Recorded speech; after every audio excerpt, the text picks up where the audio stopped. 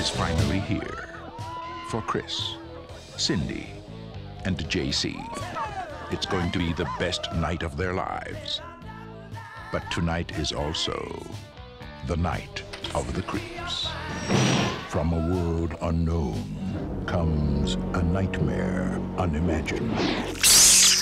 First, they are under you, around you, on you,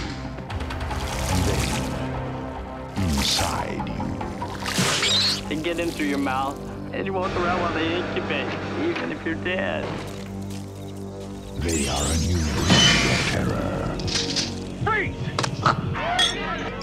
They are a different kind of horror. Zombies, exploding heads, creepy crawlies. We could have a little problem. The creeps are taking over. I got good news and bad news, girls. The good news is your dates are here. What's the bad news? They're dead.